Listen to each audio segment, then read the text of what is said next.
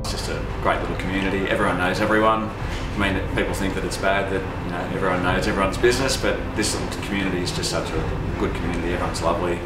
They're all friendly, and um, yeah, it's just a great place to live.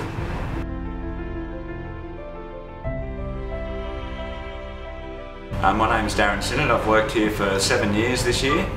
Um, I'm 43 years of age. I've lived in Heyfield for 40 years, of those 43 years. So Heyfield is my home.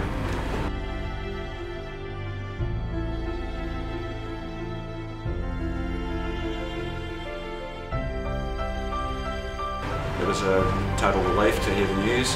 Hopefully in the next 12 months we get some resolution on this timber supply. But um, everything's looking very positive at the moment. So.